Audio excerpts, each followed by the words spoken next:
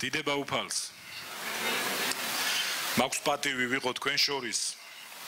ღმერთს მადლობა ამისთვის და მწყემს მინდა მადლობა უთხრა პირადად რომ მომცა ამის საშუალება. ფიქრობდი რა შესავალი გამეკეთებია ჩემი ქადაგებისთვის მაგრამ აღარ მჭირდება იმიტომ რომ უკეთეს შესავალს ვერ ვიტყოდი. ნამდვილად ვიძახი ეს არ არის უბრალოდ კომპლიმენტი. ამაში თქვენ დარწმუნდებით როცა ჩემს ქადაგებას მოისმენთ.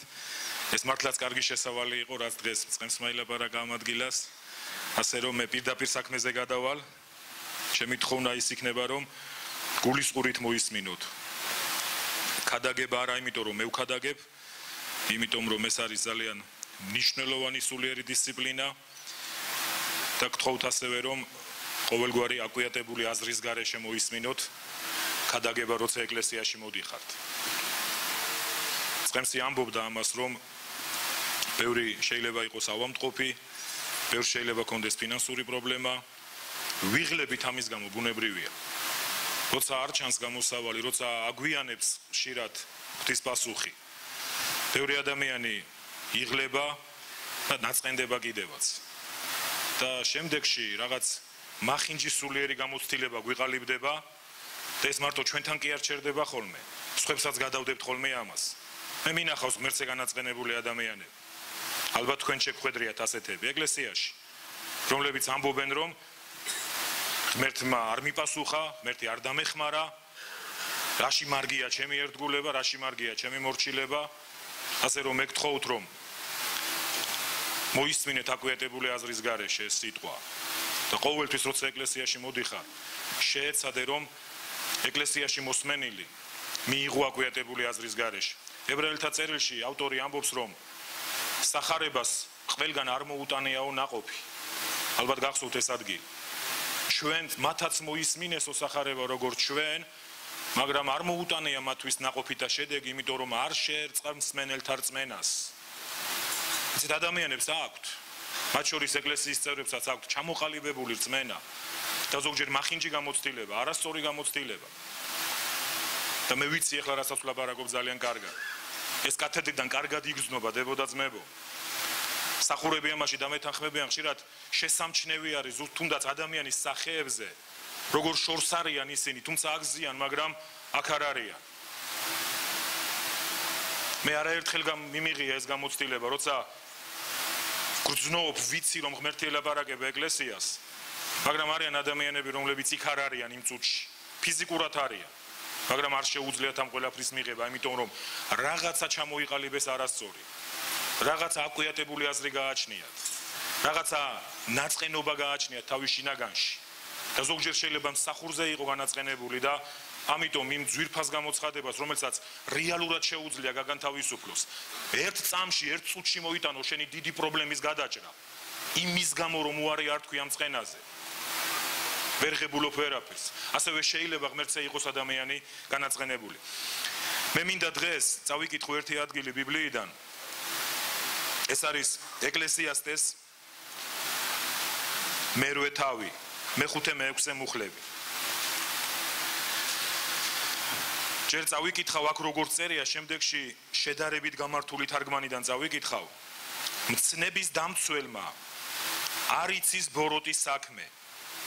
ჟამი და სამართალი კი იცის ბრძენის გულმა. რადგან ყოველ საქმეს თავისი ჟამი და წესი აქვს მაგრამ ადამიანს მძიმეთ აწევს უბედურება. ეხლა წავიკითხავ როგორც გითხარით შედარებით გამართულ თარგმანს. ცნების დამცველი არ გამოცდის ბოროტ საქმეს. დრო და წესი კი იცის ბრძენის გულმა. ცეხამწყემსი ამბობდა რომ როცა ღვთის სიტყვას ვკითხულობთ, როცა ღვთის სიტყვას ვსწავლობთ, ეს არის ჩვენი დაცვა. ეს არის ჩვენი გამოსავალი. როცა ეკლესიას ვესაუბრებით და ისეთ ეკლესიას, რომელიც ახალი ეკლესია არ არის, დიდი ხნის დაფუძნებულია სადაც ადამიანების უმრავლესობა დიდი ხნის მორწმუნეა. ხდება ხოლმე ასეთი პრეცედენტი, რომ ადამიანები დიდი აღფრთოვანებით აღარ აღარ ღებულობენ. ეს ხო იციან. ეს ხო წაუკითხავთ. ცნების დამცველი არ გამოცდის ბოროტ საქმეს ჩვენ ვიცით რომ ბიბლია არ გვატყუებს ამენ როცა გეუბნებით რომ იყავით გახსნილები როცა ვამბობ რომ აკვიატებული აზრის გარეშე ვიყოთ. სწორედ ამას გულისხმობ რომ გადავაფასოთ რას გვეუბნება ღმერთი რას გვეუბნება მისი გამოცხადება. და მისი გამოცხადება გვეუბნება რომ ღმერთის სიტყვის შემნახველი არ გამოცდის ბოროტ საქმეს. ხოლო დრო და წესი იცის ბძენის გულმა. ღმერთის სიტყვა გვაბრძენებს დებოდა ძმებო. და ჩვენ შეგვიძლია გამოვიცნოთ დრო. და წესი. თუ რისი დროა და თუ რისი წესია. რადგან ყოველ საქმეს დაუკვირდით რა მნიშვნელოვანია მეორე ნაწილი ამ კონტექსტისა. რადგან ყოველ საქმეს ყველაფერს აბსოლუტურად აქვს თავისი დრო და აქვს თავისი წესი. და გამართული თარგმანი როგორც ასეთი ეს ჩემი მოგონილი არის ახლა ეს ტერმინი. ასე ამბობს ამის გამო ადამიანს მძიმედ აწევს უბედურება. რის გამო? იმის გამო რომ ყველაფერს აქვს თავისი დრო და ყველაფერს აქვს თავისი წესი და ხშირად ადამიანები ვერ ვარჩევთ რისი დროა ამის გამოაწევს ადამიანს უბედურება. ამენ აქ იყო შესავალი. როცა ლოცულობთ ავამტყოფობისთვის მე არ მინდა ახლა ასე ვთქვა რომ ყველა ავამტყოფობა რაღაცით გამოწვეულია გინდა თუ არა ეს ჩვენ ცოდვებს უკავშირდება ან არა მეგობრებო არა. როცა ვლაბარაკობთ ფინანსურ პრობლემაზე. რა თქმა უნდა იმასაც არ ვიძახი რომ ყოველთვის რაღაცა ფინანსური პრობლემა ვიღაცის ცოდვის შედეგი ან რაღაცა მაგრამ ალბათ დამეთანხმებით რომ არც ისია საქმე რომ უცებ რაღაცა უბედურებები მოვიდეს და თავს დაგვატყდეს იმის გამო რომ ვერ უარჩევთ რისი დროა. წემსი ამბობდა არის ლოცვის დრო. არის დრო როცა უნდა ლოცულობდე და არის დრო როცა უნდა სწავლობდე არის დრო როცა უნდა გასცემდე. და იმის გამო რომ ვერ გაგვიგია და აგრევია ეს დრო ხშირად ამის გამო მოდის უბედურება ყველაფერს აქვს თავის წესი. შეხედეთ გარშემო სამყაროს სანამ სულიერ წესებზე ვისაუბრებდეთ სანამ ზებუნებრივზე ვიტყოდეთ. მიმოიხედეთ მეგობრებო. ნახეთ ყველგან არის წესები. ბუნებაშია ჩადებული წესები. შეიძლება არ გიყვარს ზამთარი მაგრამ არის ზამთარი. და თუ მიამიტი იქნები და ვერ გამოიცნობ რომ ზამთარია შუაგურ იანვარში მოგინდება დათესო საზამთროა ნესვი შეხედეთ წესებს ქალაქში. ყველგან წესებია. მოძრაობის წესები უსაფრთხოების წესები სხვადასხვა წესები საზოგადოების წესები გზავრობის წესები. აბა სადე და დაარღვიე. აბა სადე და არ დაემორჩილო ამ წესებს. გამოხდება თქვენ წარმოგიდგენიათ რომ მუდმივად არღვევდე მოძრაობის წესებს ჩვენ ვინც მანქანას მართავთ ვიცით ეს სიმწარე რაც არის. არ გვინდა ხანდახან დავარღვიოთ მე დაგვერღვევა მაინც გაგვაჩერებს პატრული ვეხვეწებით იმიტომ რომ საკმაოდ სოლიდური ჯარიმები არის. არ მინდოდა შემეშალა ვერ შევხედე და რა მოხდებოდა რომ აჰა არ გინდოდა? თავისუფალი ხარ. ასი არ ხდება ხო ასია ეს იშვიათად შეიძლება ვიღაცა აღმოჩნდეს ძალიან გულმოწყალე პოლიციელი და გითხრას რომ კარგი ამერთხელ პატიო ყველგან წესებია ყველგან წესები მუშაობს და ასევე დრო აქვს ყველაფერს თავისი. როცა რაღაცას თესავთ დრო აქვს რომ ის აღმოცენდეს. დრო ჭირდება ამას. ამიტომ ძალიან მნიშვნელოვანია გესმოდეს როდის არის თესვის დრო როდის არის ლოცვის დრო როდის არის მარხვის დრო ერთხელ იესოსთან მივიდნენ ივანეს მოწაფეები და უსაყვედურეს და უთხრეს რატომ არ მარხულობენ შენი მოწაფეები როცა ჩვენ და ფარისევლები ყოველთვის მარხულობთო მე არ მინდა ახლა ასე ვთქვა რომ რაღაცა ძალიან სპეციფიკური დროებია ამისთვის საჭირო. მაგრამ უნდა გვესმოდეს, როდის არის მარხვის დრო. იესო მუთხრა: "ეხლა არ არის მარხვის დრო." და ჩვენ კარგად გვესმის რომ ეს უფრო რელიგიური მარხვა იყო რასაც ისინი იცავდნენ და ასრულებდნენ. და ესო თქვა დადგება დრო და იმარხულებენ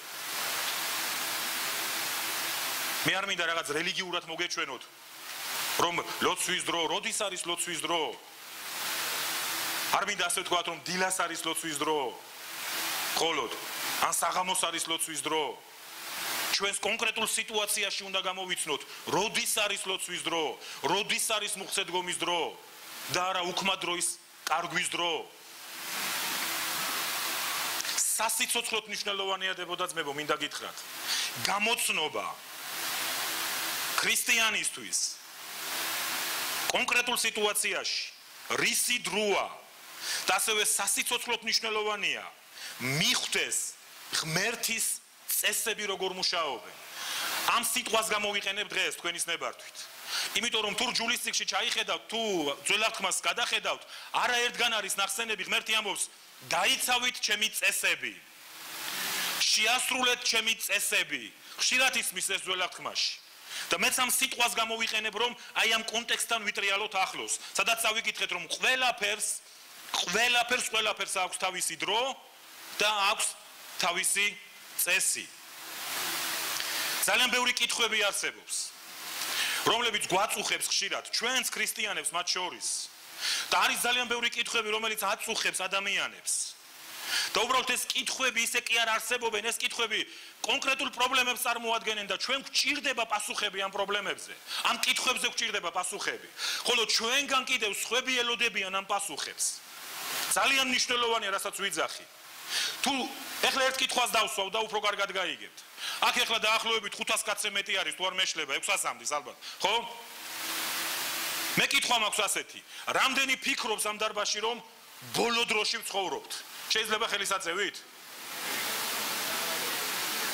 ყველა არ ფიქრობს. თუ ყველა არ ფიქრობს რომ ბოლო დროში ვცხოვრობთ, ან ერთს გვეშლება და ან მეორე ნაწილს, ხო ასეა? ვინც ფიქრობს რომ ბოლო დროში ცხოვრობს, შესაძლებელია იმათ ეშლებოდეთ. ვერ გამოიცნეს დრო და თუ ფიქრობ რომ ბოლო დროა, მაშინ ეს რაღაცას გვეუბნება, არა? თუ ფიქრობთ რომ ბოლო დროა ეს რას ნიშნავს იესო ქრისტეს დაბრუნების დროა ეკლესიის ზიატაცების დროა და თუ ვიცით რომ ბოლო დროა თუ ამას უაღიარებთ რომ ბოლო დროა მაშინ ჩვენ ადეკვატური ნაბიჯებს უნდა ვდგავდეთ ყოველთვის. ხოლო ისინი ვინც ფიქრობენ რომ ბოლო დრო არ არის მათ არც მოეთხოვებათ რომ რაღაცაზე იფთხილონ რაღაცაზე იფხიზლონ. იმიტომ რომ მე მინდა გაჩვენოთ ახლა სახარებიდან ერთი ადგილი. თუმცა არ მქონდა ეს დაგეგმილი, მაგრამ მაინც ეს არის მეორე ტიმოთეს წერილი.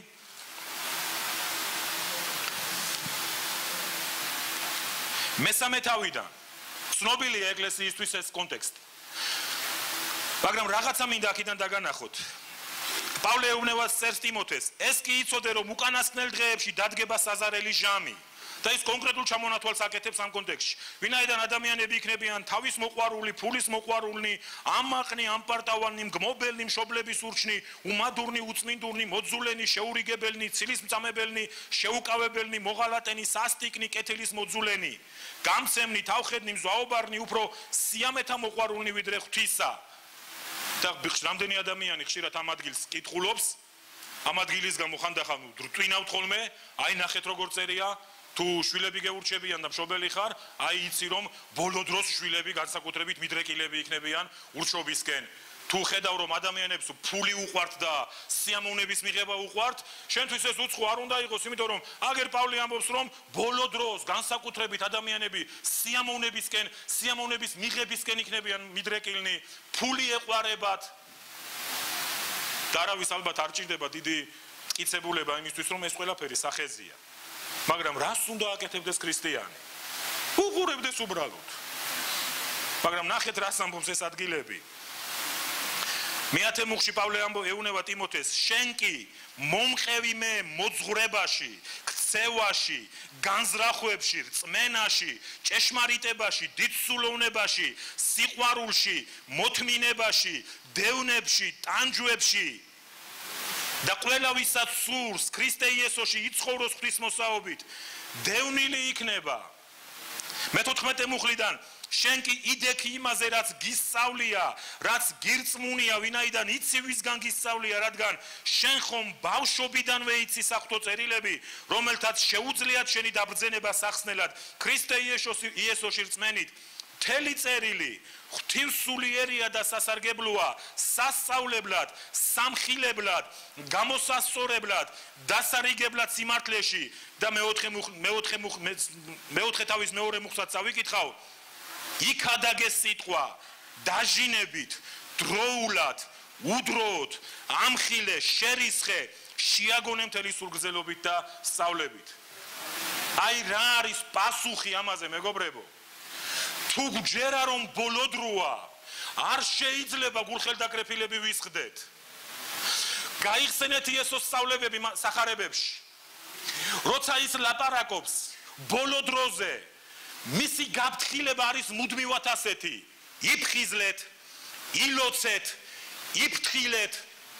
თუ გჯერა რომ ბოლოდროა მე არ მინდა ახლა აპელირება, მე არ ვაპირებ ამ თემაზე კიდე გაგრძელებას, რომ ბოლო დროა და რაღაცა ნიშნები და ასე შემდეგ და როდის დადგება ეს სახსასრული. არა მეგობრებო, მაგრამ თუ გჯერა რომ ბოლო დროა, მაშინ ჩვენი ქმედებები უნდა იყოს ადეკვატური. თუ ჩვენი ქმედებები არ არის ადეკვატური, მაშინ ეს იმას ლაპარაკობს, რომ ჩვენ ჯერ კიდევ ვერ გავიგეთ რა დროში ვცხოვრობთ. მეთანხმებით? თუ ეკლესიის რეაქცია ასეთი არ არის, თუ მორწმუნე ადამიანების რეაქცია ასეთი არ არის, რომ სწავლობდნენ წერილებში იყვნენ გადაგებდნენ შეაგონებდნენ ფხიზლობდნენ მოთმინებაში იყვნენ. იმიტომ რომ ის რაც აქ წავიკითხეთ ჩვენ რომ ასეთი იქნება სამყარო. ეს ყველაფერი ჩვენს დასაზიანებლადაც იქნება დებო და ძმებო ამ ყველაფერს გავლენა ექნება ჩვენზე თუ ადამიანები ასე ცუდები გახდებიან თუ საზოგადოება ასე გაიხსნება ეს ყველაფერი ჩვენზე გავლენას მოახდენს თუ არ მოახდენს? ჩვენ ხომ ამ საზოგადოებაში ვცხოვრობთ? ჩვენ ხომ ამ საზოგადოების ნაწილი ვართ? ყოველთვის ფიქრობდი ხოლმე და დიდი ხნის განმავლობაში ვერ გგებულობდი აი კარგად არ მესმოდა რა იყო პირველი ეკლესიის ასეთი დიდი წარმატების მიზეზი. ვერ გგებულობდი იყო დო ჩემი ქრისტიანული ცხოვრების და მსახურების დასაწყისში ასეც კი ვფიქრობდი რომ ალბათ ღმერთს ყავს ფავორიტები პეტრე, პავლე და იაკობი და ასეთი ასე შემდეგ მისი ფავორიტები იყვნენ. ასე ვფიქრობდი ხოლმე. იმიტომ რომ როცა ხედავ ამ ადამიანების ცხოვრებას, როცა ხედავ მათ თავდადებას, მას მათ უშიშრობას და გაბედულებას, სხვანაირად ვერ შეიძლება ერთი შეხედვით ვერ იფიქრო და ასე ვფიქრობდი. მაგრამ გავიდა დრო და მივხვდი, რომ ღმერთს არ ყავს ფავორიტები. მიჭირდა იმის დაჯერება, როცა ჩვენ სახარებაში ვკითხულობთ ან ხადაგებლები გვიქადაგებდნენ, რომ ელია იყო ჩვენი მსგავსი კაცი, რომ ჩვენ შეგვიძლია იგივე საქმეები ვაკეთოთ, რასაც იესო აკეთებდა. არის საკითხები, რომელთა დაჯერება გვიჭირს, მეგობრებო. ჩვენ უნდა ვაღიაროთ ეს, რომ არის საკითხები, რომელთა მიღება და რომელთა დაჯერება ძნელი არის. და მე ერთ პარადოქსულად ადგილს გაგახსენებთ ბიბლიიდან. სამწელნახევარი მოწაფეები იესოს სწავლებას ისმენდნენ. სამწელნახევარი ერთად ცხოვრობდნენ. სამწელნახევარი უნიკალურ გამოცდილებას ღებულობდნენ. მაგრამ როცა იესო ჯვარზე გააკრეს, როცა იესო ქრისტე ჯვარზე მოკვდა, იცით რა მოხდა? იცით რა თქმა უნდა, მაგრამ მაინც გეტყვით. ისინი ყველანი დაიშალნენ, წავიდნენ, შიში ცხოვრობდნენ და ერთ დღეს მოირბინა მათთან ერთმა ქალბატონმა და შეკრებილ მოციქულებს უთხრა იესო აღდგამკრეთით და იცით რას ამბობს სახარება? ლუკას 23 თავი არის თუ არ ვწდები? მათ ფუჭად ეჩვენა თუ ეს ნათქვამი? ხედავთ რა პარადოქსია მეგობრებო. სამწელნახევარი ისინი ისმენდნენ რომ იესო ქრისტე უნდა მომკვდარიყო კაცობრიობისთვის. სამწელნახევარი ისინი სწავლობდნენ ამას და როცა მათ მოისმინეს იესოს სიკვდილი და დაინახეს იესოს სიკვდილი და როცა მისი მკვდრეთით აღდგომის ამბავიც მოისმინეს სახარება ამბობს ფუჭად ეჩვენათ ეს ნათქვამი წარმოგიდგენიათ სისულელე ჩათვალეს რას ამბობ? როგორ შეიძლება ეს მომხდარიყო თომა უფრო მეტად ჯიუტი გამოდგა ესეც იცით. თომას უკვე პეტრე მუთხრა იოანე მუთხრა ესენი ავტორიტეტები იყვნენ ეკლესიაში თომა მაინც იძახის. არა არ არსებობს. ვერ წარმომიდგენია. როგორ შეიძლება ეს მომختარიყო ეს რამეს გეუბნებათ რამეში გეხმარებათ მეგობრებო. ხშირად სულიწმინდის გარეშე რა უძლურები ვართ ჩვენ. ხშირად ღვთის გამოცხადების გარეშე. როგორი დაუცველები და სუსტები ვართ ჩვენ ხშირად ისმის ეკლესიების კათედრიდან რომ ბოლო დროა მაგრამ ეკლესია სამწუხაროდ ნაკლებად ეტყობა. ჩემი მიზანი არ არის ეს რომ ეხლა აქ ისეთი ფონი შევქნა რომ ყველა ვალდებული გავხადო რაღაცით. არა დებოდა ძმებო არა მეგობრებო. მე მინდა რეალობა ვილაპარაკო და სიმართლე ვილაპარაკო. მიუხედავად იმისა რომ ხშირად ისმის ასეთი ტიპის გადაგებები ეკლესიას უფრო ნაკლებად და ნაკლებად ეტყობა რომ ბოლო დროა ესეც პარადოქსი არის ყოველი დღე, ყოველი თვე და წელიწადი უფრო მეტად გვაახლოვებს იესოს მოსვლას. ხო ასია? და ყოველი დღე და ყოველი თვე და ყოველი წელიწადი ეკლესიას უფრო სხვანაირს ხდის სამწუხაროდ. მეტი პრობლემები მოდის ეკლესიაში. ადამიანები ეცემიან სახარებას აღარ გადაგებენ. როცა ვახსენებთ პეტრეს, როცა ვახსენებთ პირველ ეკლესიას და წეხამ თქვი მათი წარმატების მიზეზებს, ისინი სახარებას გადაგებენ. ამის წინ ეკლესიაში ლიდერები ვიჯექით და ვამბობდით, რატომ არიზდება ეკლესია და ჩვენ ყველამ თქვით, აღარავინ გადაგებს სახარებას. აღარავინ მოწმობს. ხანდახან ეკლესიები რაღაც სტრატეგიებს იმუშავებენ, შევქვლათ რაღაცა מחარებლური ჯგუფი, მაგრამ თუ გაინტერესებთ ბიბლიური სტრატეგია, თუ გაინტერესებთ იესოს სტრატეგია, რაღაცა ჯგუფებით ქვეყნიერების დამოწაფება მას არ კონდა გეგმაში. მისი სტრატეგია იყო რომ ყველა ადამიანს მოეხდინა სხვა ადამიანების დამოწაფება. და თუ დღეს 500 ადამიანი წავა მოტივით ამ სურვილით რომ ბოლო დროა რომ ადამიანები იღუპებიან. ეს იცით რას ნიშნავს? ჩვენ შეგვიძლია 500 ადამიანი დავიმოწაფოთ.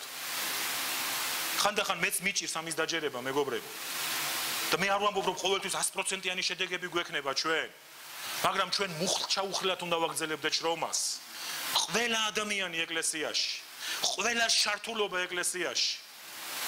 იმიტომ რომ თუ გჯერა კიდევ ვიმეორებ რომ ბოლო დროა, მაშინ ყველა შართულობის დროა. მაშინ ყველა სლოცვის დროა. მაშინ ყველას იმის დროა რომ ყველა იყოს გამცემი, ყველა იყოს მოწმე იესო ქრისტესი. ეს ძალიან მნიშვნელოვანი არის. მე წესებზე ვამბობდი. საზოგადოებას ყველგან გააჩნია რაღაც წესები. ყველა საზოგადოებას. ჩვენ გვაქვს კულტურა და გვაქვს რაღაც ნორმები მიღებული საზოგადოებაში. მე მინდა გითხრათ, რომ ყოველთვის ეს ნორმები არ მოდის თანხმობაში ღვთის წესებთან. გაიხსენეთ ერთი დავიწყე მე ჩემი გადაგება იმ მუხლით. ყველაფერს აქვს თავისი დრო და წესი.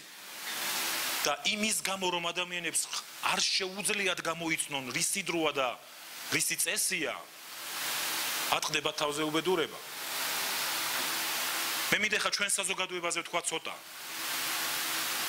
ჩვენ ძირძველ საზოგადოებაში დიდი კულტურის მქონე მრავალ საუკუნევან ერში ძალიან ბევრი ნორმები არსებობს.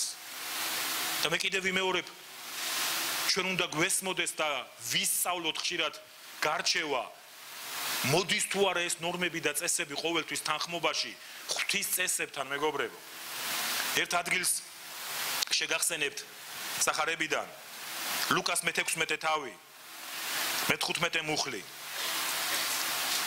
ეს არის მომენტი და შემთხვევა როცა იესოს მორიგ ჯერზე ეკამათებიან ფარისევლები და აქ ბიბლია ლაპარაკობს რომ აქ ლუკა ამბობს რომ ეს ფარისევლები მდიდარი ფარისევლები იყვნენ. ამას იესო ამბობს რომ მათ ფული უყვარდათ. და იცით რატომ? ისინი თვლიდნენ რომ რჯულის შესრულება ფინანსური კურთხევის მომტანი იყო. ამიტომ თუ ვინმეს ხედავდნენ ისე ვისაც სიმდიდრის ნიშნები არ ქონდა დამამცირებლად თვლიდნენ ამ ყველაფერს. ზევიდან უყურებდნენ. ეგრევე რჯულის დამღევათ ასახებდნენ. თუ მათთვის ეს ეს იყო გამოცხადება ასეთი თუ შენ მდიდარი არ ხარ ესე იგი რჯულს არ იცავ თუ შენ კარგად არ გაცვია ესე იგი რჯულს არ იცავ მე მახსოვს რამოდენიმე წლის უკან ეკლესიებში ფეხს იკიდებდა ასეთი სწავლება აყვავების, წარმატების მე მესმოდა ხოლმე ხშირად ასე რომ მორწმუნე ყველაზე კარგად ჩაცმული უნდა დადიოდეს, მორწმუნე ყველაზე საუკეთესო მანქანით უნდა დადიოდეს და ასე შემდეგ და ბევრი წამოეგო ამ პროვოკაციას სამწუხაროდ. და ნახეთ რა შეუბნება იესო. ლუკას მე-16 თავის მე-15 მუხში იესო ეუნება რაც კაცთა შორის მაღალია ღვთის წინაშე სისაძაგლიაო. იფიქრეთ ამაზე მეგობრებო. განა ღმერთის სიმდიდრის წინააღმდეგია. მაგრამ ხანდახან ჩვენ ვერც კი ვამჩნევთ. ისევ ღებულობთ ხოლმე რაღაცას როგორც ტენდენციას. ადამიანები ხშირად ვალებს იღებენ იმისთვის რომ კარგად ეცვათ. და უნდათ რომ ყურადღება მიიქციონ იმით რომ რაღაცა აცვიათ ბრენდი. ჩვენი ელიტური საზოგადოება ხშირად იყვეხნის ამით გადაჭრელებული ამით პრესა ტელევიზიით ამას იყურებ რომ ეს ჩანთა მილანის შოპინგზე იყიდა რომ ეს სათვალე ამდენი 1000 ლარი ღირს ან დოლარი. და ეს რაღაცები ტენდენციებად მოდის ხშირად მეგობრებო. ტენდენციებად და თითქოს ის ვისაც ის ვინც კარგი მანქანით დადის ეს იმას ნიშნავს რომ ყურადღებას უნდა იქცევდეს. მაგრამ ისო თქვა რაც კაცთა შორის ამაღლებულია სისაძაგლია ღვთის თვალში დაფიქრდით ამაზე. მე მჯერა რომ ღმერთი მოგცემთ გაგებას ამისას, შემოდებოდა ძმებო. თუ გააქვს საშუალება ჩაიცვი ბრენდი. თუ გააქვს საშუალება წადი და ბრენდ მაღაზიაში იყიდე, კი ბატონო, მაგრამ იცოდე რისი დროა. მე მინახავს ადამიანები, რომლებიც ბრენდს იცვავენ, რომლებიც იყვეხნიან ამით, რომლებიც ადამიანებს აჩვენებენ, ცდილობენ და აინტერესონ და ამ დროს მათი ხელიდან გაღებული სამარცხვინო არის ხომე მე ასე ვფიქრობ. ისინი რასაც ღმერთისთვის გასცემენ ეს სამარცხვინო არის. ადამიანს შეუძლია ათასები ასეულობით ლარი მისცეს რაღაც უსარგებლო ნივთში. და ისე რომ გულიც არ ასამართლებს როცა მივა ეკლესიაში და მისი შესაწირავი სამარცხვინო შესაწირავია ხშირად. კარგად გაიგეთ რასაც ვამბობ დებოდა ძმებო გაიგე რისი დროა არის ნივთები და არის რაღაცები რის გარეშე ცხოვრება შეგვიძლია?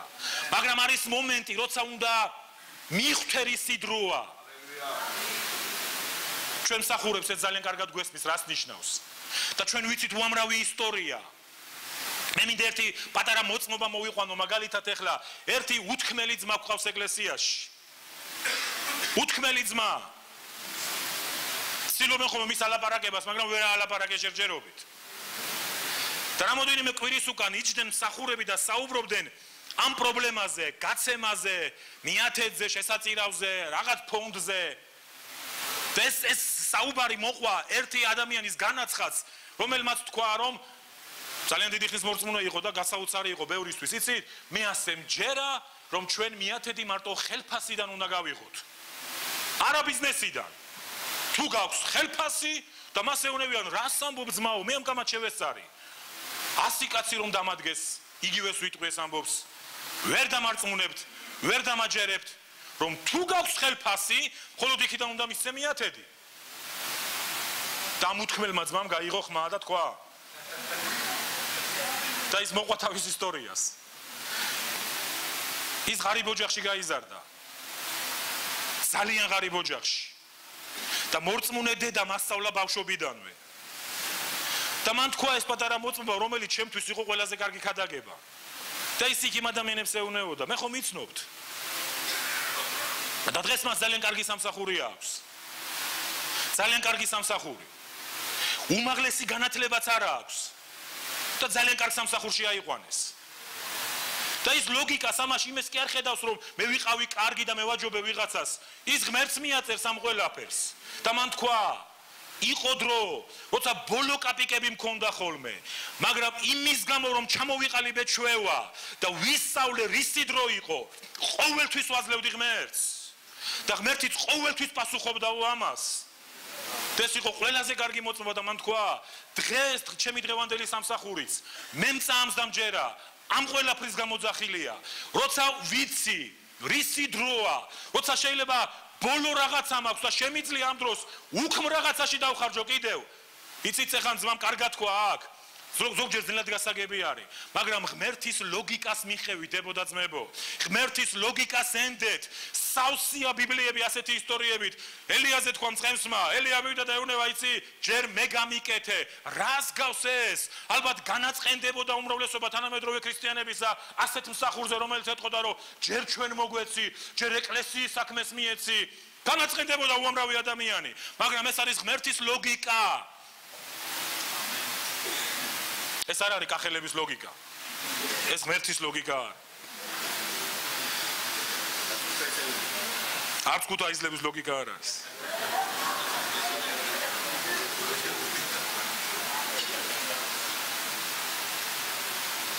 კიდევ ერთი ადგილი წავიკითხოთ მათეს სახარებიდან. მე-16 მუხლი. მე-16 თავი ბოდიში. მათეს სახარება 21-23 მუხლები.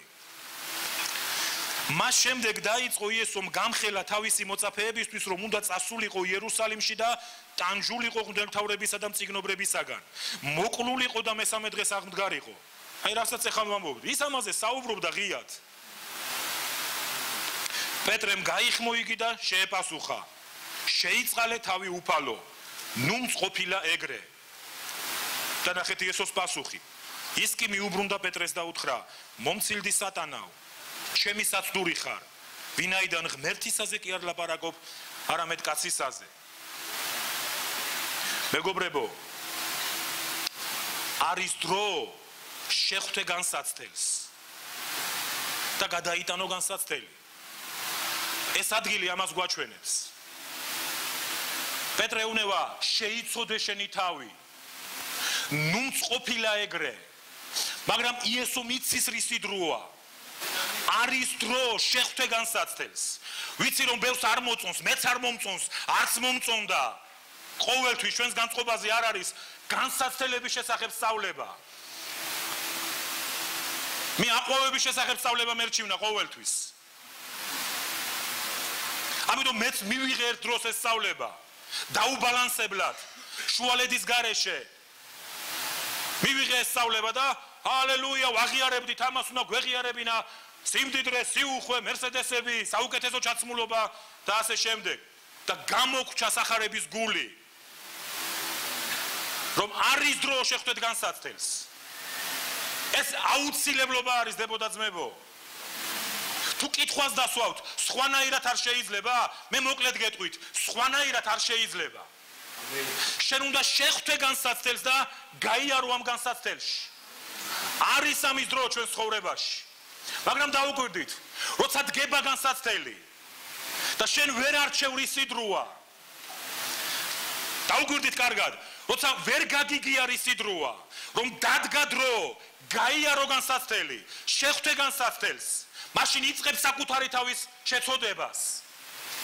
მაშინ იწყებ საკუთარი თავის შეწყალებას და აბსოლუტურად არაადეკვატური ხარ.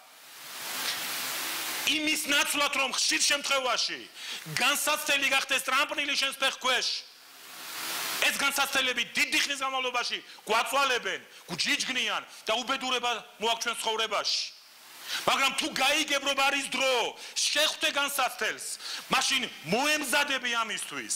მაშინ მოიკრებ ძალას ამისთვის და გაივლი განსაცდელს. ამენ. კარგად იფიქრეთ, მე არ მაქვს იმის ილუზია, რომ 10 წუთში გაიგებ ყველაფერს. მე იმედი მაქვს, რომ როცა წახვალთ, წაიკითხავთ ამ ადგილებს, შეამოწმებთ. ზოგიერთი ალბათ კონსპექტსაც გააკეთებთ. მე ასე ხუმრობ ხოლმე ეკლესიაში, რომ როცა მოვა გაზაფხული, როცა დაცხება ეკლესიებში, მე მორწმუნეებს ვეუბნები ხოლმე. ეხლა წამოიღეთ რვეულები, იმიტომ კი არა რომ კონსპექტი გააკეთოთ, იმიტომ რომ გაიგრილოთ სახე. და თუ რაღაცა მოგეწონებათ, თან ჩაიწერეთ ხოლმე. არ შეგეშალოთ, არ უნდა წამოიღოთ რვეული ჩასაწერად, გასაგრილებლად უნდა წამოიღოთ და თუ ამ დროს რაღაცა მოგეწონება, ჩაიწერ კიდევაც და ეს რვეული ორმაგად იქნება სარგებლის მომდანი, თან სახეს იგრილებ, თან რაღაცას ჩაიწერ კიდევაც. კიდევ ერთი ასეთი მაგალითი, როცა იესო ჯვარზე იყო, გაიხსენეთ. ყველა ტიროდა. ეს არ იყო ტირილის დრო. იესომ გადმოხედა ჯვრიდან და უთხრა: "ნუ ტირი ხარ ჩემს გამო." ხალხი ტიროდა.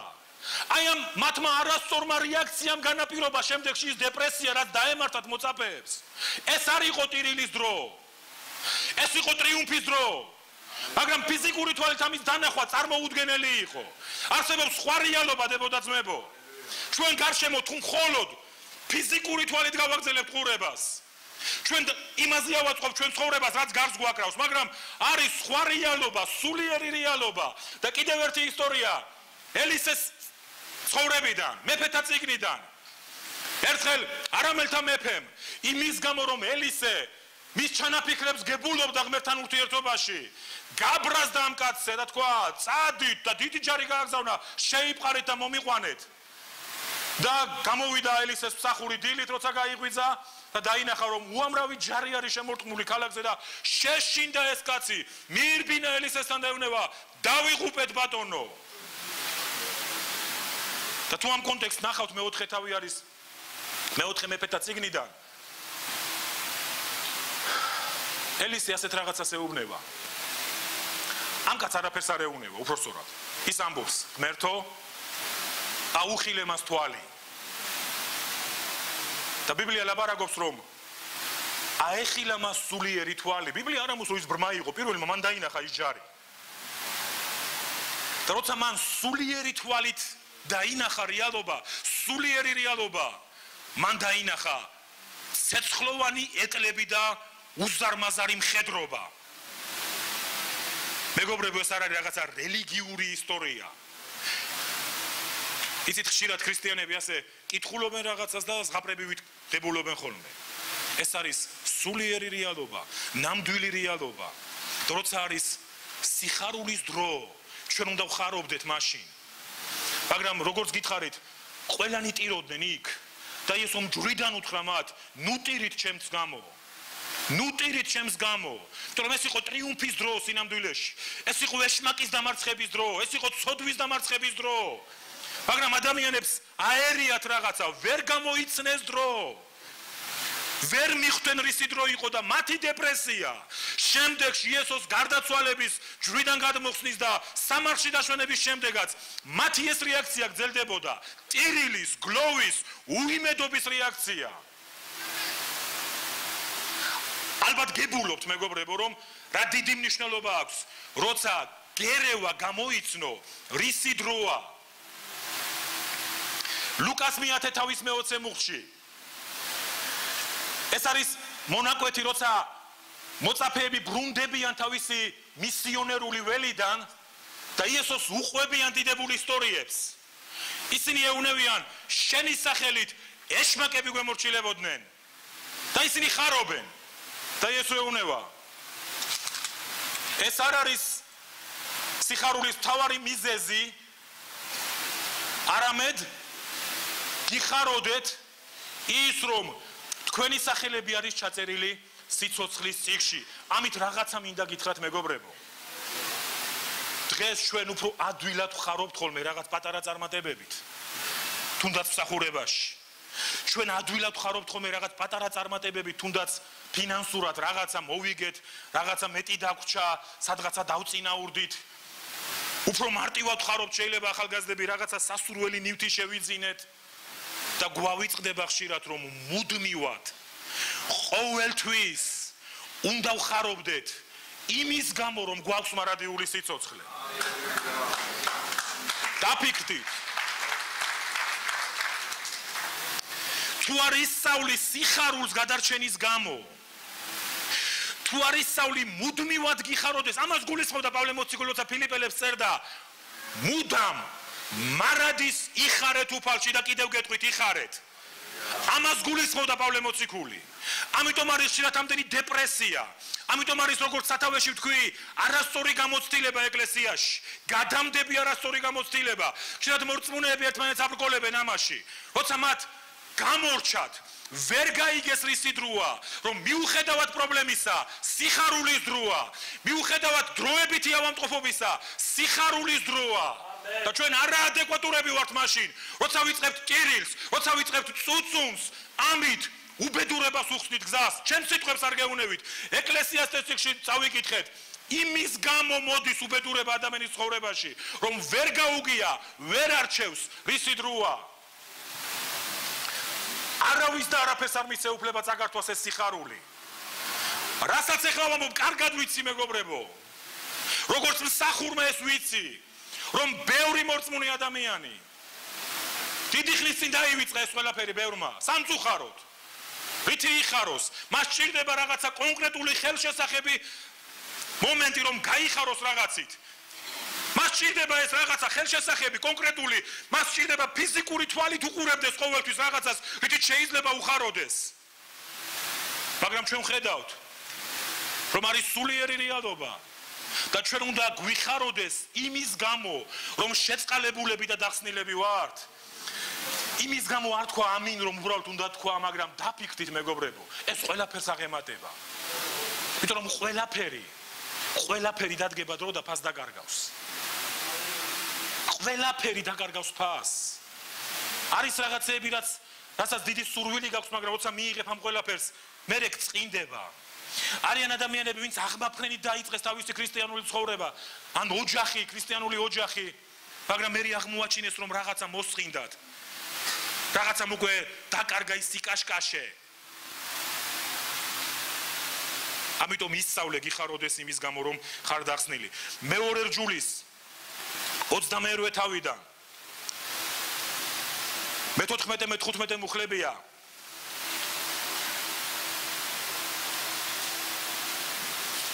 აი ასეთი რამ რამ წერია ამ კონტექსში.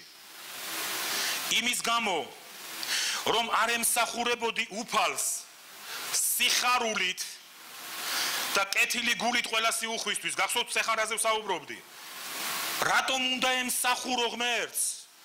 იმიტომ რომ დახსნილი ხარ იმიტომ რომ საუკუნო სიცოცხლე გაქვს. რატომ უნდა გიხაროდეს ყოველთვის მის წინაშე? იმიტომ რომ როგორც იესომ თქვა შენი სახელი სიცოცხლის წიგშია ჩაწერილი. ეს ყველაფერზე მნიშვნელოვანია. ეს ყველა სიხარულს აღემატება. ის არასდროს არ გაცვდება ის არასდროს არ გაფერგთალდება და ახლა ნახეთ რას ამბობს. ეს მონაკვეთი იმის გამო რომ არ ემსახურებოდი უფალს სიხარულით და კეთილი გულით ყველა სიუხვისთვის. იცით რა მოხდება? მოემსახურები შენს მტრებს ხედავთ რას ამბობს ბიბლია? იმის გამო რომ ვერ გებულობთ რისი დროა. იმის გამო რომ ვერ გებულობთ რომ სახურების დროა. სიხარულით სიხარულის გამოხატვის დროა. კმაყოფილების დროა რომ ვემსახუროთ ღმერთს სიხარულით კეთილი გულით ყველა სიუხვისთვის.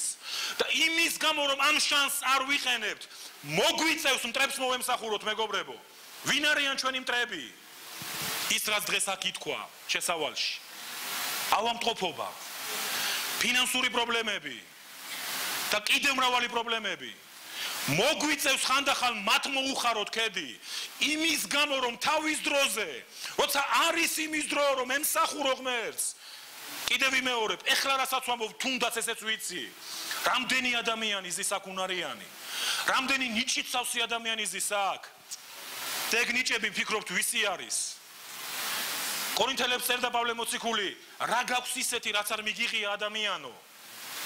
და მე გეკითხებით რა გვაქვს ისეთი რაც არ მიგვიღია შეგიძლია ერთი რამე თქვა? თუ ლამაზი ხარ, როგორ ფიქრობ, შენ შეუკვეთე შენი სილამაზე? თუ ჯამრთელი ხარ, როგორ ფიქრობ, შენ გაქვს ამის გარანტია რომ ჯამრთელი იყო? თუ რაიმე ნიჭი გაგაჩნია, თუ რაიმე მიღწევა გაგაჩნია? ბიბლია სევ სწორ პასუხს, ეს არის სულიერი რეალობა, რომ ყველაფერი რაც მიგვიღია, ღმერთისგან მიგვიღია. ხოლო თუ ყველაფერი ღმერთისგან მიგიღია, მაშინ რაღაცო მიკვეხნი? აქ უამრავი ნიჭიზის რომელიც ჯერ არ გამოყენებულა. აქ უამრავი უნარიანი ადამიანი ზის და უფრო მეცაც ვიტყვი აქ ზის მოწოდებულ მოწოდებულ ადამიანთა მთელი კრებული რომელსაც მოწოდება გააჩნია ღმერთისაგან. მაგრამ ჯერ კიდევ ვერ გავიგეთ რომ სახურების დროა ჯერ კიდევ ვერ ხვდებით და იმის გამო რომ მოდის და მოდის და არილევა და არილევა ეს პრობლემები. ხშირად უკმაყოფილება, უციხარულობა. და მაგრამ მე იმედი მაქვს რომ დღეს ეს ქადაგება რაღაცაში დაგეხმარებათ. რომ მიხვდეთ რისი დროა. რომ შეწყდეს ეს უბედურება. რომ კარი დაეკეტოს ეშმაკს. და ბოლოს ერთი სარამამადგილს წავიკითხავ ეს რაც ახლა ვთქვი რომ მოემსახურები შენს მტრებს ეს წესი არის მეგობრები ეს ღვთის წესია მეორე ჯულის 22-ვე თავი ქრისტიანთა უმრავლესობამ კარგად იცის. და სწორედ აქ არის ხშირად ნახსენები როცა კურთხევაზე ლაბარაკობს ღმერთი პირველ ნაწილში. ხოლო მეორე ნაწილში როცა წევლაზე იწყებს ღმერთი ლაბარაკს წერია მაგრამ თუ ჩემს წესებს არ დაიცავ მაშინ იმის ნაცვლად რაც რაც წარმოვთქვი იმ დიდებული კურთხევების ნაცვლად იმ საოცარი კურთხევების და წარმატების ნაცვლად წევლისთვის გაიხსნება შენი ცხოვრება. ეს არის წესი. ეს წესი არ იცვლება დებოდა ძმებო თაობები შეიცვალა. თაობებმა ტკენები მიიღეს ტკივილები მიიღეს ამის გამო ამ წესის გამო მაგრამ ეს წესი არ იცვლება. ეს უცვლელი წესი არის. ღმერთი არ იცვლება მეგობრებო და ბოლო ადგილი ეს არის ანგიას ციგნი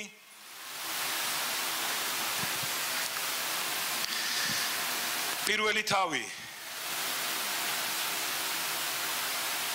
აქ კიდევ ერთხელ დაინახავთ ამ მონაკვეთში რომ ვერ გაგება ღმერთის დროის და უგულებელ ყოფა ღმერთის წესის პრობლემების მომტანი არის ყველა ადამიანის ცხოვრებაში. მეორე მხრიდან მკითხულობ, ასე თქვა საბაოთ უფალმა. ეს ხალხი ამბობს, ჯერ არ დამდგარაო დრო, უფლის სახლის აშენების დრო. ძალიან მოკლედ გეტყვით, აქ რა რეალობა იყო. ისრაელი ტყვეობაშია, ბაბილონის 70 წლიან ტყვეობაში, მაგრამ ტყვეობის შუა წელში სადღაცა დარიოს მეფის დროს მეფის მეფეზე ღმერთის გავლენით. მეფის გულში ჩაიდო სურვილი და დაახლოებით 50000 კაცი დააბრუნა მან იერუსალიმში რომ აღედგინათ ტაძარი. და მათ დაიწყეს ტაძრის აღდგენა. ეს არ არის ნეემიას ან ეზრას დრო. ეს მანამდეც ხდება მეგობრებო. მათ დაიწყეს ტაძრის აღდგენა მაგრამ სამარიელებმა და მეზობელმა მტრებმა ერებმა ჩააშლევინეს ეს საქმე. სამი მცდელობა იყო. სამივე კრახი დასრულდა და ხალხმა ნახეთ ხალხი შეშინებული, გატეხილი, სუდ ემოციურ ფონში მყოფი, შეწყვიტა სახლის შენება და მათ თქვეს, ალბათ ჯერ დრო არ არის. ამიტომ არ გამოგვდის. და ღმერთი დაელაპარაკა ანგიას. და თქვა, ეს ხალხი ასე თulis. ეს ხალხი ასე ამბობს, რომ ღმერთის სახლის აშენების დრო არ არისო. იმის დრო კი არის რომ გადახურულ სახლებში ისხდეთ. და ეს სახლი კი მიგდებული იყოს. და იმის გამო რომ არ გამოუვიდათ საკუთარი სახლების აშენება დაიწყეს. ლოგიკურია მეგობრებო მაგრამ შეხედეთ ღმერთის ლოგიკა როგორია. შეხედეთ თუ არ იქნება ღვთის სახლი, თუ არ იქნება თაყვანისმის ადგილი, თუ არ იქნები ეკლესიაში ჩანერგილი, რაც არ უნდა გააკეთოთ მეგობრებო, როგორც არ უნდა მოიწყო პირადი ცხოვრება, როგორც სახშიდაც არ უნდა იცხოვრო, გეუბნებით ვერ იქნები ბედნიერი, ვერ იქნები კმაყოფილი, თუ მით უმეტეს მორწმუნე ხარ, თუ მით უმეტეს მერტიშვილი ხარ. ამიტომ ღმერთი იმით იწყებს რაც მნიშვნელოვანია და ის ამბობს თუ ჩემი სახლი არ იქნება აშენებული თუ თაყვანისმის ადგილი არ იქნება თუ ეკლესიაში არ იქნები მაშინ მნიშვნელობა არ აქვს ას გააკეთებ შენ ცხოვრებაში. და მას მიხვდებით როცა ამონაკვეთს ბოლომდე წავიკითხავთ ახლა ასე ამბობს აბაუტ უფალი დაუკვირდი თქვენ საქციელს განჟაში გვიწევს ღმერთი. ის თავზე არ გვახვევს თავის წესებს. ღმერთი გვეუბნება დაუკვირდით, თვალი გაახედეთ, გაახილეთ, მიიხედეთ, მოიხედეთ და ნახეთ. ბერს თესავთ, მაგრამ ცოტა სიმკით. ის შედეგებს შეხედეთ ღმერთი ამბობს. შეხედე შენ ცხოვრებას. ბერს თესავ, მაგრამ მოსავალი არ არის ადეკვატური. ჭამ, მაგრამ ვერ ძღები. სვავ, მაგრამ ვერ იკლავ წყურვილს. იცვავ, მაგრამ ვერ თვები. გახრეტილი ქისისთვის იღებს მშრომელი შრომის საზღაურს. ბევრის მოლოდინი გააქვთ, მაგრამ ცირედი გისრულდებათ.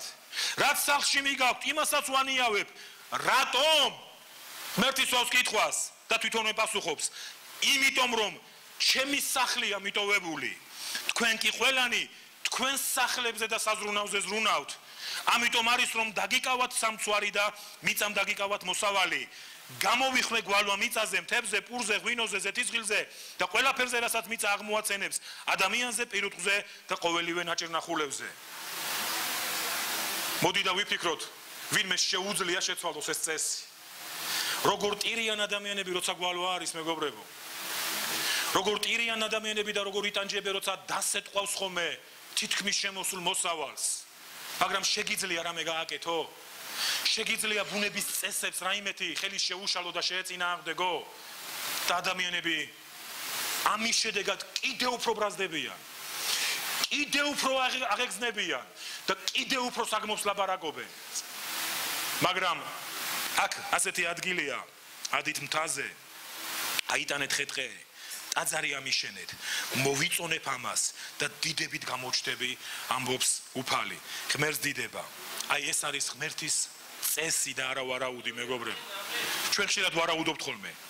ალბათ მოსალოდნელია მაგრამ თქვენ ამ ციკში თქვენ ამ ციკში ვერ იპოვით ვარაუდს. ვინმეს გიპოვნია თუ თუ თუ ვინმე მიპოვნეთ მითხარით ძალიან გთხოვთ.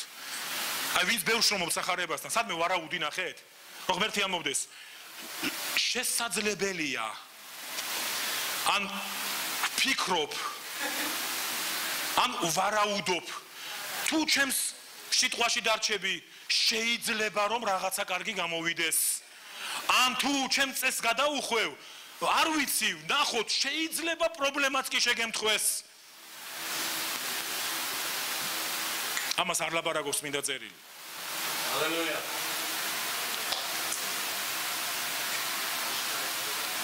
ეფესელთა წერილში პავლე ძალიან ძვირფას სიტყვებს ამბობს ეს მეხუთე თავი არის. მე-15 მე-16 მე-17 მუხლები. ფრთხილად მოიქეცით. არა როგორც უგუნურნი არამედ როგორც ბრძენი რაღაც კონკრეტულს უკავშირდება რაში მოიქცებ ფრთხილად? რასთან დაკავშირებით? ესე იგი ვინც ფრთხილად არ იქცევა ვინ არის? უგუნური. და ნახეთ მე-16 მუხლი ხსნის ამ ყველაფერს. გაუფრთხილდი დროს. იმიტომ რომ საყვარნი არიან მუხთალმი არიან ვამთარგმანში ასე წერია. მუხთალი ნახეთ ეს სიტყვა სპეციფიკური ქართული სიტყვა არის. ერთხელ მუჯლუგუნი ვახსენე ეკლესიაში. ქართული სიტყვა არის და ვიღაც რა არის მუჯლუგუნი ვიღაცა მითხრა. დამჭირდა ახსნა რა არის მუჯლუგუნი. მუხთალი არიან დღეები. მუხთალი კაცი რას ნიშნავს? რომელსაც ვერასდროს ვერ დაეყრდნობი ხო ასეა? თუ დაეყრდნობი გიმუხთლებს და იზარალებ და ნახეთ რას ამბობს პავლე. გაუფრთხილდი დროს იმიტომ რომ გიმუხთლებს ის. დღეები მუხთალი არიან. თუ დროს ფლანგავ თუ დრო გერევა თუ კიდევ გააგზელებ ისე არეულ დროში ცხოვრებას იცოდე გიმუხთლებენ დღეები. და მე ჩემი კადაგების დასასრულს მოწოდება მინდა გავაკეთო. ეს ქადაგება მთლიანად მოწოდება არის ეკლესიისთვის, რა თქმა უნდა.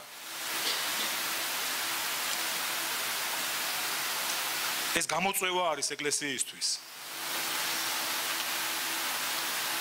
ჩემოდებოდაცმებო მეც ბევრჯერ ყოფილი ვარ ისეთ დღეში. როცა ამრევი არის ის დრო იყო. მე ვარ ის ადამიანი ცოცხალი მოწმე. როცა დიდი ტკივილები მიმიღია იმის გამო, როცა დავკარგე დროის განცდა და შეგრძნება. როცა არ გავფრთხილდი. როცა ლოცვის ნაცვლად ეს რელიგიურად ჟღერს ხოლმე ადამიანებს არ უყვართ მე ეს კარგად მესმის. როცა მქადაგებელი გამოვა დაიწყებს ლაბარაკს ლოცვაზე მარხვა აუ იტყვია. ხალხი ეძებს ხოლმე ხა რაღაც უცხოს ბიბლიაში. არიან მე ბიბლიის უცხოდ განმარტებლები რომლებიც ლაბარაკობენ იმის ხენის ძუა რას ნიშნავს ეს ფთა რას ნიშნავს და ადამიანებს მოსწონთ ეს ხშირ შემთხვევაში. მარხვა ლოცვა სიტყვის შესწავლა მოწაფეობა ეს გაცვეთილი თემებია. და ადამიანები ამ ალბათ ამ რამდენჯერ უნდა მოვისმინოთ ამ ლოცვაზე. ჩემოდებოდა ძმებო თუ ლოცვას არ დავიწყებთ მიუხედავად ამდენი ქადაგებებისა თუ დროის გამოყენებას და ჩვენი დროის მომენტს არ გადავხედავთ, როგორ ხარჯავთ დროს? იცით, ბევრი მშობელი ჩემთან მოდიან და ტირიან ხომე, ამის წინ ერთი ქალბატონი მოვიდა და მითხრა, ათენებ ჩემი ბავშვი, უთხარი მსახურებას რატო არ არის შენი შვილი და მითხრა, ვეღარ ადგან. ძმაო, დილის 8 საათზე დაწვა, მთელი ღამე კომპიუტერთან იჯდა. ახალგაზრდები გვეუბნება რა პრობლემა არის ახლა ესა სოციალურია და ასე შემდეგ და მე რა მოხდა სოციალურ ქსელში თუ არაფერიც არ მოხდა აი კარგი საქმეების კეთებაც შეიძლება. მაგრამ ბევრი ადამიანი ძალიან დიდ დროს კარგავს დღეს. როდის უნდა წაიკითხოს ახალგაზრდა ადამიანმა ბიბლია? და ძალიან ჩანს ხოლმე. ძალიან ჩანს თაობები ეკლესიაში როგორ არ არიან განათლებული ბიბლიურად. ეს ძალიან ადვილი დასანახი არის დებოდაცმებო ვიღაც ამბობს ხანდახანს მეთან მიდიან და უი რა კარგია შე რო ეს ცოდნა გაქვს და მეც მინდა რომ კონდეს. დრო უნდა დახარჯო ამისთვის დავოდა ძმაო. დრო უნდა გამოყო ამისთვის. იმ ძლიერ მიდრეკილებას უნდა უთხრა უარი იმიტომ რომ არ არის ამის დრო. სხვა რამის დროა ლოცვის დროა მარხვის დროა ერთხელ კუთხეში მიმწყრეული აღმოჩნდი. სრული ბანკროტი. ვალებში ჩავარდნილი ეს დაახლოებით 12 წლის უკან ხდებოდა. და იცით მანამდე კი არ ვფიქრობდი ასე მაინც ვაგზელებდი რაღაცის კეთებას. ხვდებოდი მემხილებოდა რომ სწორს არ ვაკეთებდი და ყველაფერი დავკარგე. და ვთქვი ეხლა რა უნდა გავაკეთო? და ერთადერთი რაც დამჭა მოდი ეხლა დავიწყებ ტირილს ღმერთის წინაშე. დავიწყე ტირილი. ხო ღმერთო ხო ხედავ ეხლა როგორ ვარ? ალბათ ბევრს გიტირიათ ხო? აინც არაფერი არ შეიცვალა. გავაგზელე ტირილი კიდევ არაფერი არ იცლება, პურის ფული არ მაქვს, ბავშვებს ვერაფერს ვეღარ ვაჭმევ. და მოვიდა აზრი. შევსულიყავი ჩემს ოთახში. და მანამ არ გამოსულიყავი იმ ოთახიდან. სანამ ღმერთი არ დამელაპარაკებოდა. მოკლედ გეტყვით. რამოდენიმე დღე გავატარე იმ ოთახში. მარხვაში. და აქვე გამოგიტყდებით. ასეთი მარხვა მისმერი არ მქონია. და ეხლა გეკითხებით. კიდევ უნდა დავკარგო ყველაფერი? კიდევ ბანკროტი უნდა გავხდე? რომ ისე ვიმოთახში ვისწავლო შესვლა?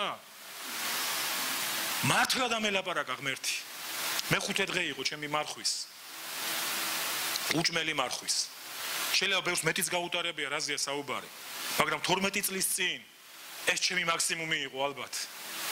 და ღმერთმა შეხედა რომ მაქსიმუმი გავაკეთე ჩემი შესაძლებლობიდან და დაიწყო ჩემს ცხოვრებაში ცვლილებები. მეგობრებო სერიოზული ცვლილებები. კონკრეტული ნაბიჯებზე მითითებები მომცა ღმერთმა. ეს არისო რაღაცა ზედაპირული ზოგადი არა. ასე რომ აუცილებელია ნუ თუ ეს ჩემი მაგალითი ვიღაცისთვის არ უნდა იყოს გაფრთხილება. თაკაც ზიან უამრავი ადამიანებისაც აქვს ეს მოწმობა. შენ შეგიძლია უთხრა შენს მეგობარს შენ შეგიძლია უთხრა შენს საოჯახოში ადამიანებს შენ შეგიძლია უთხრა თუნდაც შენს ლიდერს და გაუზიარო ეს დამოწმება ასე რომ ისწავლეთ დროის გამოყენება. ეს არის გამოწვევა ეკლესიისთვის. მიხვდით რის იდროა და დაიწყეთ ადეკვატური ქმედებები.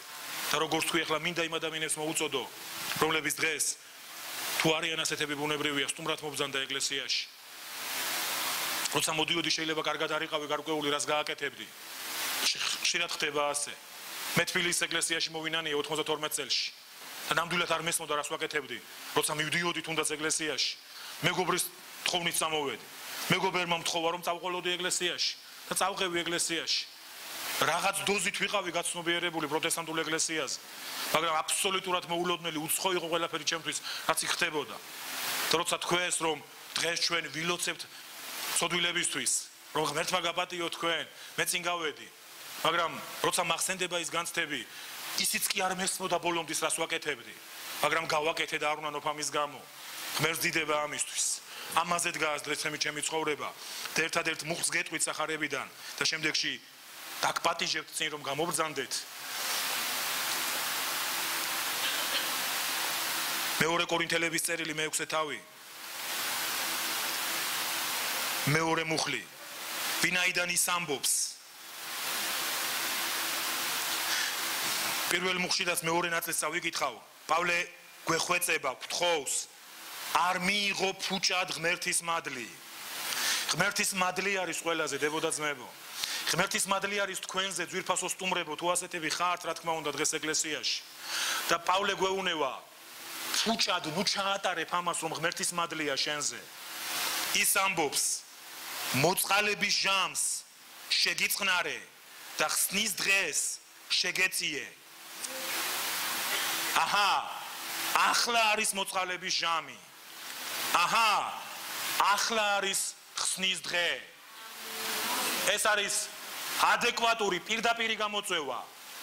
ეხლა თქვენთვის არის დრო. შეწყალების დრო. დღეს არის დღე, ხსნის დღე. ამიტომ ფუჭად ფუჭად ნუ გაატარებ ღმერთის მადლს. მოდი ახლა წამოვდგეთ შემოდებოდა ძმებო.